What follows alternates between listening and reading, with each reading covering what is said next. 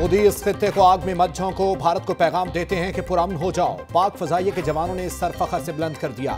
پاک فوج چھوٹے ٹیکنیکل بم سے لیس ہے۔ صوبائی وزیر اطلاعات فیاض الحسن چوہان کا چیرنگ کراس پر ریلی سے خطاب۔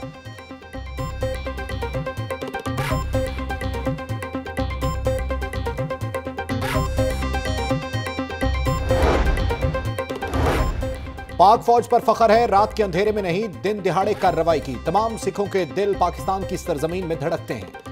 گردوارہ ڈیرہ صاحب، سکھ رہنما سردار بشن سنگھ کی پریس کانفرنس۔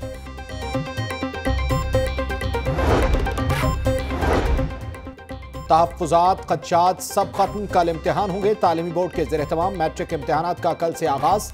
پہلے روز عربی business studies cloth and textiles کے پیپرز ہوں گے۔ آٹھ سو اکیس امتحانی مراکز کے اطراف میں دفعہ ایک سو چوالیس نافذ۔ امتحانات میں پانچ لاکھ سے زائد بچے شریک ہوں گے۔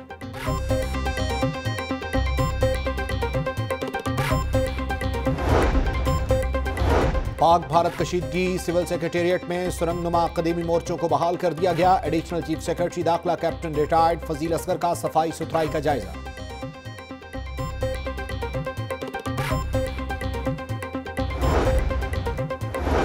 واسا ماسٹر پلان دو ہزار چالیس مکمل، گلبرگ آفس میں ایم ڈی واسا سید زاہد عزیز کی زیر صدارت اجلاس بارشیا اور سیوریج پانی کے نگاز کے لیے مستقبل کے منصوبے پر تبادلہ خیال۔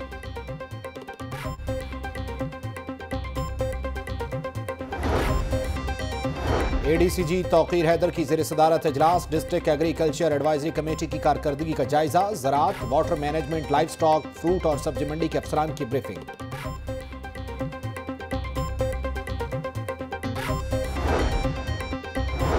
Punjab police ministerial staff کے تقرر تبادلوں کے حوالے سے نئی پالیسی جاری۔ منسٹریل سٹاف ممبر ایک سیٹ پر تین سال سے زیادہ تعینات نہیں رہ سکے گا۔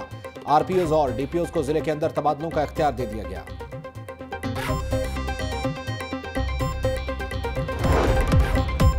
اور ریلوے اولڈ انجن شیڈ میں ریلوے ملازمین کی ریٹائرمنٹ پر تقریب۔ صدر سپروائزر ایسوسی ایشن ناصر محمود ریٹائرڈ ہو گئے۔